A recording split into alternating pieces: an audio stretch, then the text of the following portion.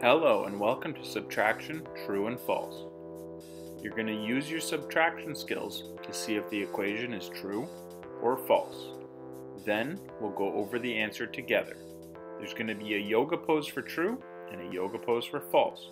So you're going to have to do the right yoga pose for 10 seconds.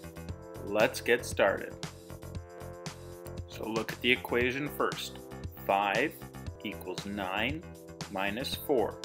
Is that true or false?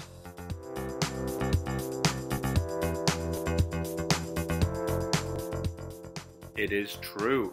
So do the frog pose for 10 seconds.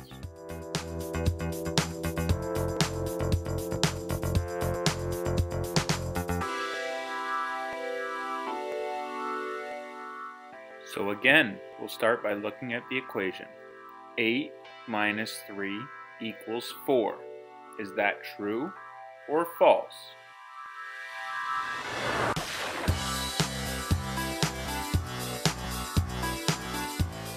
It is false. 8 minus 3 is 5. So do the tree pose for 10 seconds.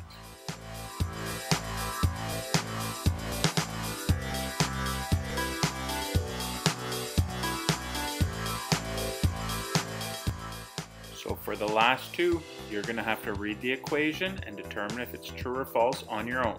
We'll still go over the answer.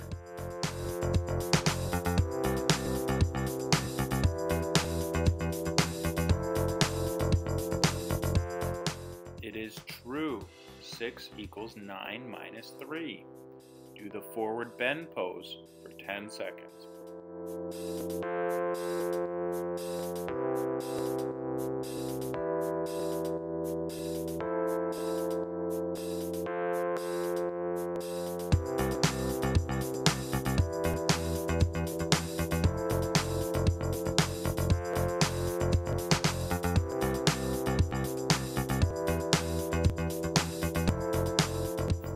This is false. 7 minus 2 is 5.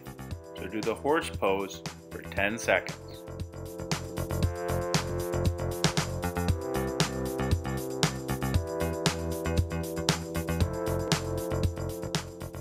Thank you very much for participating. Everyone did a great job. Teachers, if you're interested in more games like this, check out my boom cards. They're interactive PDFs that let you track your students' progress. The link is in the description below. And thank you to Artifex for the great yoga clip art.